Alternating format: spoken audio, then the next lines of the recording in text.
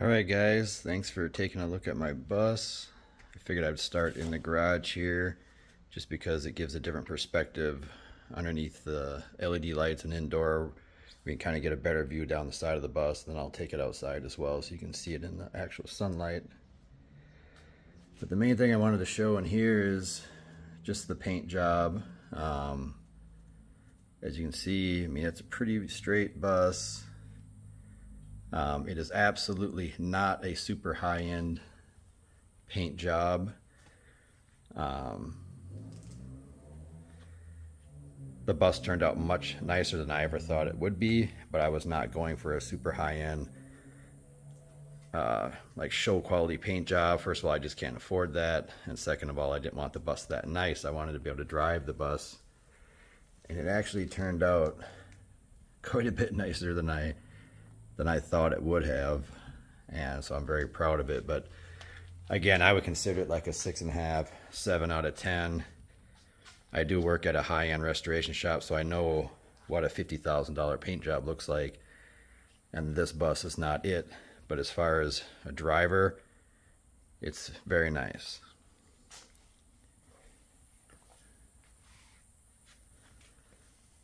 see the nose is really, really nice knock on wood, we've been driving the bus now for a while. We definitely do put a good amount of miles on it, and I don't think there's a single chip anywhere in the nose. Like that little tiny dot there on the bumper. That little dot are the only even little rock chips I see. The nose is very, very nice.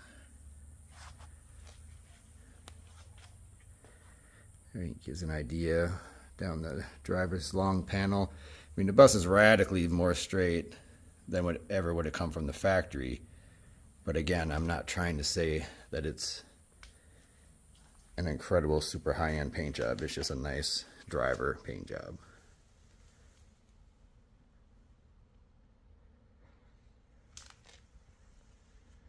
And there's just a lot of little things about the bus.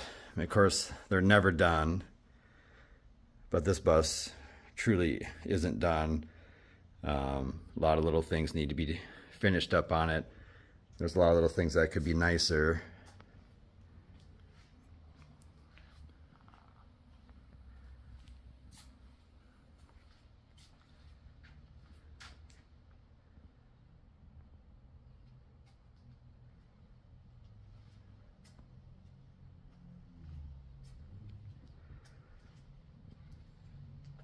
There's actually, to be completely upfront, there are some dents in the back of the roof here that I, at the time, I just didn't think it was a big deal to get them taken out.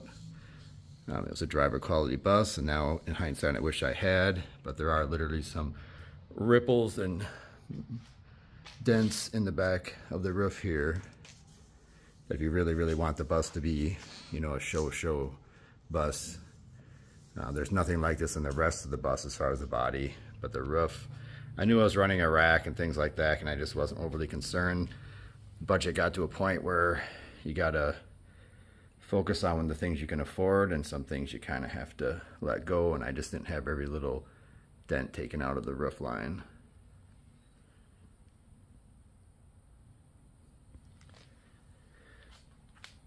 And certain things like we wanted to keep the original glass on the corners, as much original glass as we could so you can see it's bubbled up here like they do a little bit of delamination on both corner windows.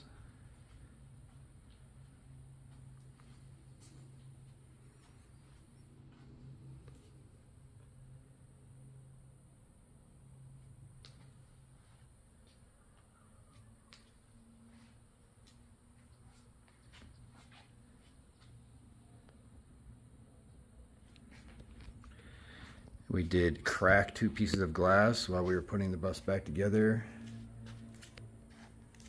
So the rear window here is cracked. Um, been driving it for over a year now and it has not progressed, knock on wood. You can see the other corner window is a little less, but is delaminated a bit. We also cracked this piece of glass right here. if you can see that. There we go.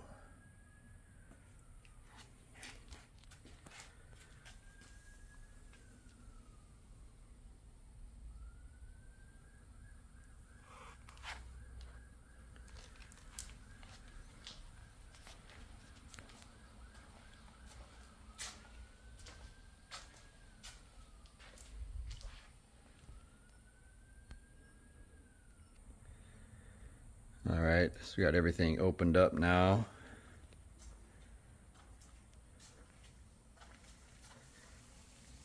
So the motor is by Type E Motorsports. Uh, Brian's a great guy, really did a great job on the engine.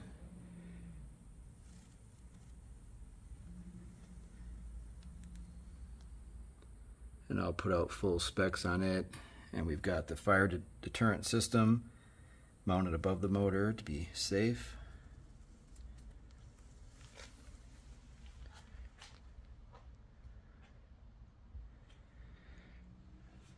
Just had this rear panel made by uh, West Coast Classic Interiors and it actually needs to be trimmed. That's why I've got that uh, little blanket across there just because the piece is too long it still needs to be trimmed down. You'll be able to see photos but everything is heavily heavily sound deadened with Kilmat.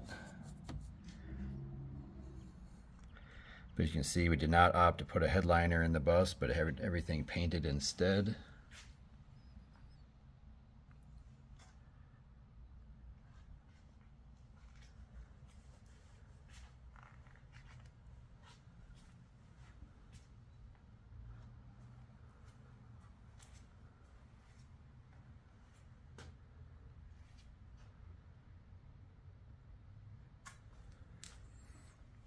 So the camper kit, it's a father-son team down in Florida. I believe last name is Powers. I think it was Ralph Powers.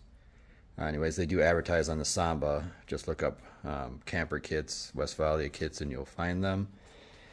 Uh, I got every bell and whistle they offered at the time. This is basically an SO33 kit, but European style, I guess you would call it.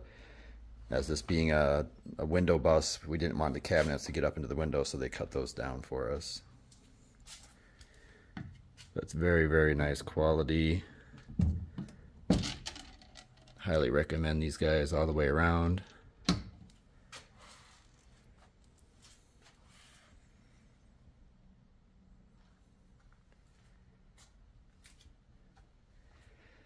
Uh, this, the upholstery was done by Jan Lind Interiors. This is a reverse Spirit of Le Mans uh, plaid pattern.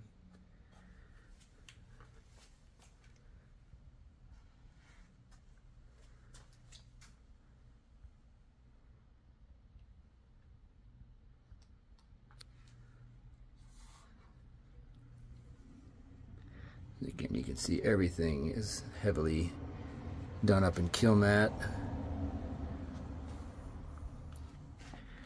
You've got your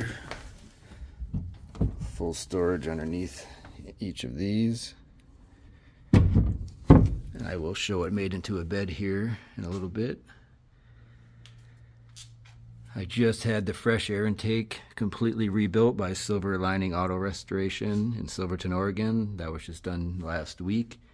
So that is completely fresh inside and functioning exactly how it should.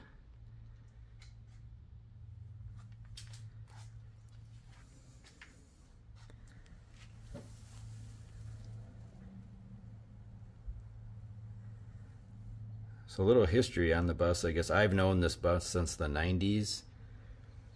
I was up in the Moses Lake, Washington area. First time I seen it. A buddy of mine had it. And again, this is a 1962 15 window that was clipped with a full roof graft back in the 90s, long before there was anything for reproduction metal. So this is a German built 15 window and a full German built roof off from a deluxe bus. There you can see the headache rack. So the, the roof was put in as factory. So the bus has been a quote 23 window since the 1990s. And we had an opportunity. It was just a project that my friend was not never going to get to. So he sold us the bus four years ago as basically a rolling shell. And we took it to Jake Miller up in Winthrop, Washington. And we drove the bus out of his shop. Um, it was an original paint bus under about five coats of respray over the years and spent a bunch of hours attempting to paint strip it. But it became obvious during that process that the bus had been scuffed. The original paint was scuffed before they did the first of five paint jobs.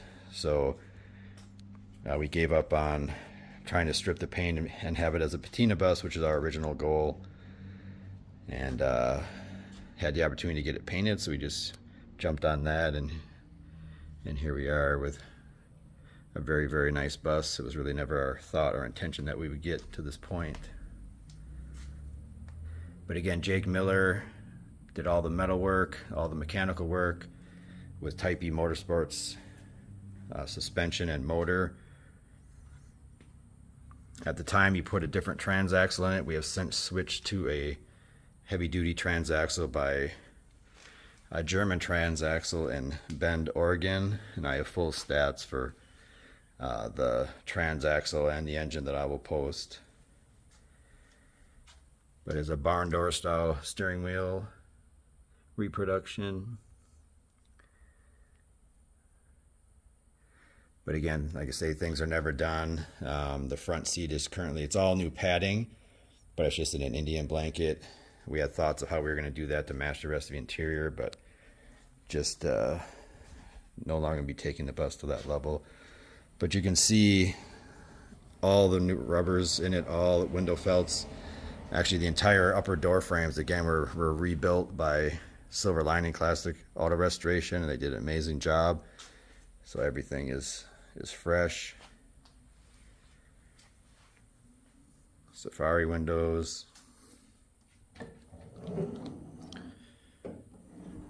We did not have the tabs welded onto the dash. I find if you just close these clips, it keeps 90% of the ran out anyway, and I just didn't really want to weld those components onto the dash.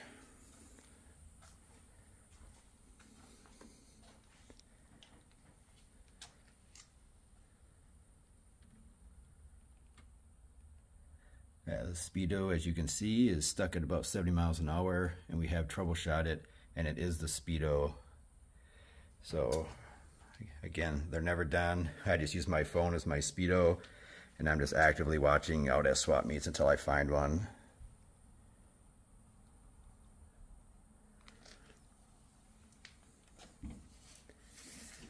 It's a factory floor mat, so it's got some wear to it, but it is original VW floor mat. Of course, there's no rust in the bus.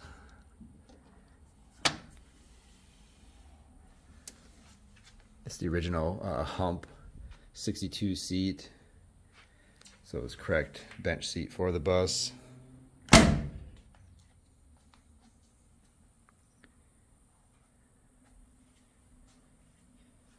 Uh, the suspension again is by Type E Motorsports. We'll explain more about that when we get it up on the lift. But it's four-wheel disc brake, bolt-in independent rear suspension. It's a 1968 cc stroker motor, a repop Westy rack.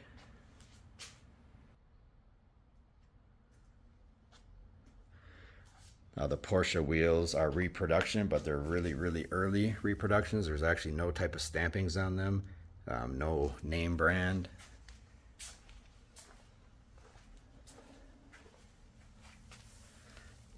But it's Brian at Type E. It's his hybrid suspension, so it's all sealed bearings. There's no maintenance to be done to the bearings. And the bus just drives beautifully. Goes down the road. So nice.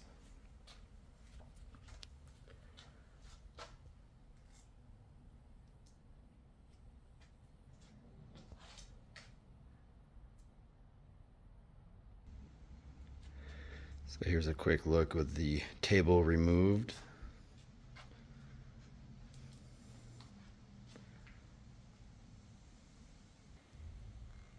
All right, and here's a look at the bed made up. Um, you would slide the white poles out if you're actually gonna go to sleep, but, or actually use it as a bed, I should say, but gives you an idea of the size of the bed. It's nice and comfortable. Cushions are nice and thick. But again, these just slip out there, pop right out.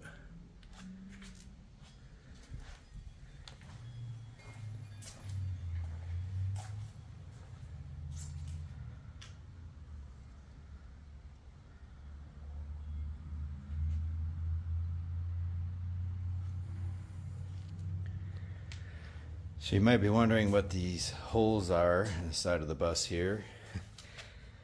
That's because we drove it for two years with Hurst bumpers, front and rear. I absolutely love Hurst bumpers. So they're all painted up in silver white. I just haven't mounted them. The rear ones are hanging in my rafters. I've never had a ribbed bumper bus, and obviously this shouldn't be one, but as a 62 that we made look like a late 58. So it's got silver white ribbed bumpers on it. Uh, Jake converted the fried eggs to the nipple turn signals. Uh, it's got an early gauge pod, a thin partial tray, and the rear tail lights are correct for a late 58. So again, we took a 62 and made it look like a late 58. Just the look we wanted. Uh, we didn't go as far as, as messing with cargo door hinges or anything like that. Just the more basic things that we could do to make it look the part. And it is a factory sealing wax red and white bus. Um, we just opted to do single tone sealing wax red. And a kind of a cool side note about the roof that was grafted onto it was even the correct colors for the bus. So it was a, a sealing wax red and white roof. You can look back at the pictures of it before we paint stripped it and it, the, the red was fading through the white, which was heartbreaking to cover up, but it was just the reality of the situation. And again, these mounts here, we have a BBT awning for it and I'll show you pictures of that. But there's just a requirement. I always wanted a 23 window with a Westy interior and a Westy awning.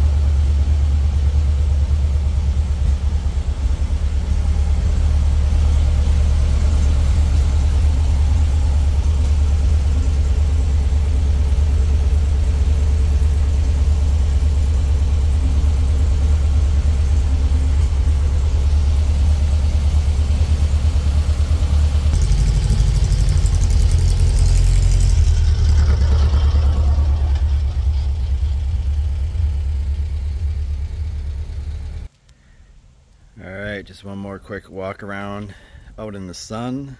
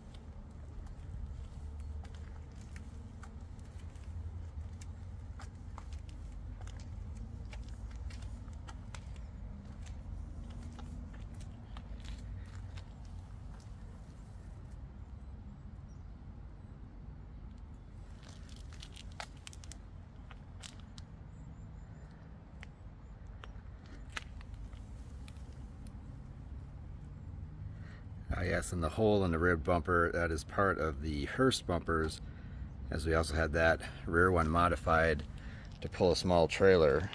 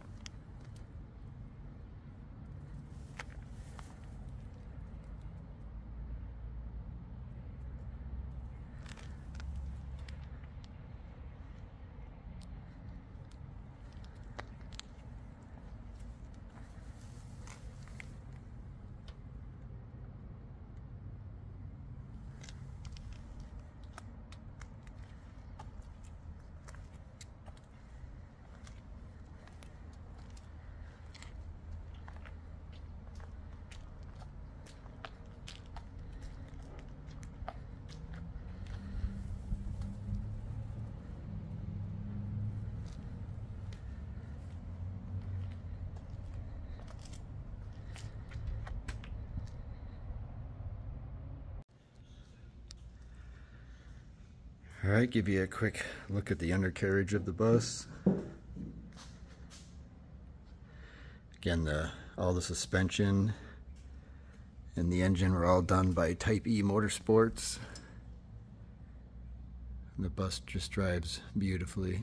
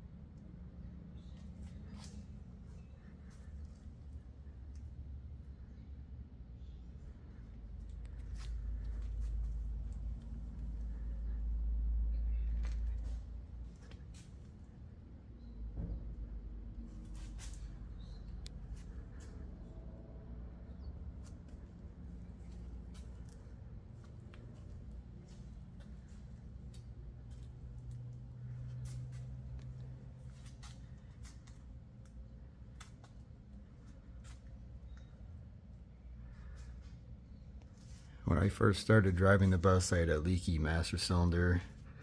So you can see it kind of ate up some of the paint on the driver's side of the beam.